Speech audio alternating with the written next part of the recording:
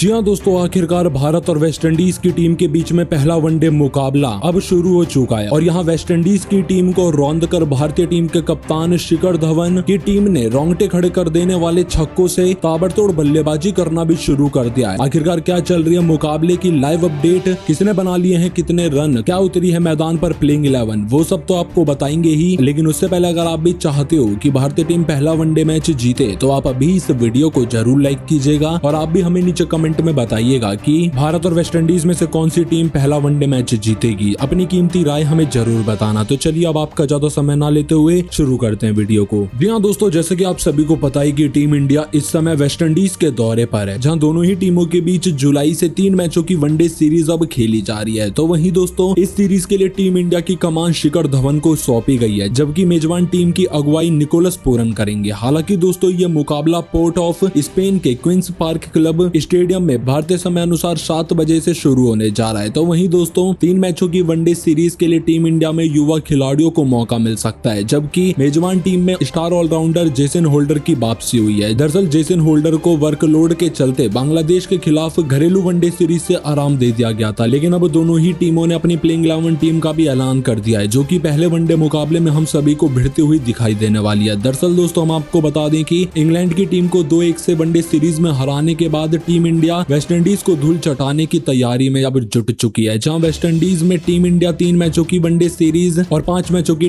T series खेलने जा रही है और आप सभी इन टी सीरीज और वनडे सीरीज का लाइव प्रसारण सोनी स्पोर्ट्स नेटवर्क के चैनल पर देख सकोगे और अगर आपको लाइव स्ट्रीमिंग मैच की देखनी है तो सोनी लिव ऐप आपके लिए बेहतर ऑप्शन होने वाला है हालांकि दोस्तों पहला मुकाबला बाईस जुलाई शुक्रवार को खेला जाएगा जहाँ गौरतलब यह है की वेस्ट इंडीज के खिलाफ वनडे सीरीज के लिए भारतीय टीम में रोहित शर्मा विराट कोहली हार्दिक पांड्या ऋषभ पंत और जसप्रीत बुमराह नहीं होंगे और सीनियर सलामी बल्लेबाज शिखर धवन वनडे सीरीज में टीम इंडिया की अगुवाई करेंगे हालांकि दोस्तों अगर हम बात करें भारत की संभावित प्लेइंग इलेवन टीम के बारे में जो की आप सभी को पहले वनडे मुकाबले में खेलती हुई दिखाई दे सकती है तो दोस्तों उसमें जो खिलाड़ी खेलते हुए नजर आएंगे उसमें नाम निकल कर आता है शिखर धवन का शुभमन गिल सुरेश अय्यर पूरा कुमार यादव और संजू सैमसन जहाँ ये पांच खिलाड़ी ऊपरी क्रम संभालने की पूरी कोशिश करेंगे तो वहीं टीम में दीपक हुडा को मौका दिया जाएगा रविंद्र जडेजा आप सभी को टीम का हिस्सा रहते हुए हुए दिखाई देने वाले हैं वहीं गेंदबाजी की बात करें तो गेंदबाजी में श्रादुल ठाकुर युजवेंद्र चहल आप सभी को टीम का हिस्सा रहते हुए दिखाई देंगे वहीं मोहम्मद सिराज और प्रसिद्ध कृष्णा को तेज गेंदबाजी के तौर पर विकल्प के रूप में उपयोग करा जाएगा तो ऐसे में दोस्तों ये होगी भारत की संभावित प्लेइंग इलेवन टीम जो की आप सभी को खेलते हुए दिखाई देने वाली है हालांकि दोस्तों भारतीय टीम से हर किसी को उम्मीदें हैं कि भारत ये वनडे सीरीज